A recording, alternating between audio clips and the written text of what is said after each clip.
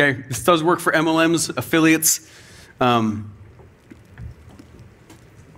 in fact, I'll show you the funnel that's specifically for that here in a moment. Um, that's what I'm doing too.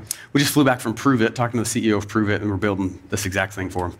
Um, it's one right after this, I think. Uh, anyways, but this one, the physical product funnel, um, this is so powerful. Of, of like, when I go build a book, actually, capitalism swag is this funnel. But people think like, well, it's swag, like it's, you got to make a storefront and stuff.